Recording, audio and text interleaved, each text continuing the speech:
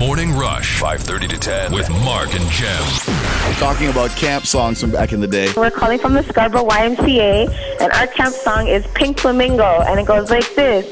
I said, let me see your pink flamingo. What's that? She said, I said, let me see your pink flamingo. What's that? She said, I said, ooh, ah, pink flamingo, ooh, ah, one more time, ooh, ah, pink flamingo.